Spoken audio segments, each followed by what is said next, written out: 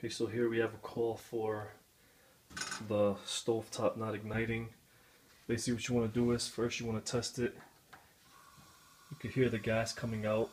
There should be like a ticking noise going on. If the ticking noise is not going on, then you're going to have to get access to the back of this panel once you pull it out and you'll have to replace the module spark. The first thing you want to do is unplug the stove because if you don't unplug it and you try to start working on the module in the back, you'll short everything and pop the breaker. So make sure you unplug it. Next, you're going to take off these screws here on the top of the panel, and that's going to give you access to the back of your stove.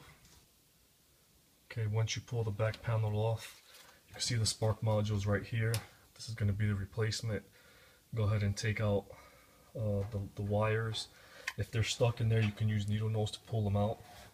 Just be real gentle because you don't want to uh, damage the prongs on the top.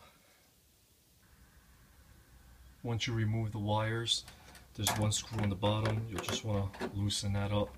Once you loosen that up, you can go ahead and attach the module and put that last wire in. Once you put your new spark module in, what you want to do is you want to plug it in and then you want to test it before you put the back panel on.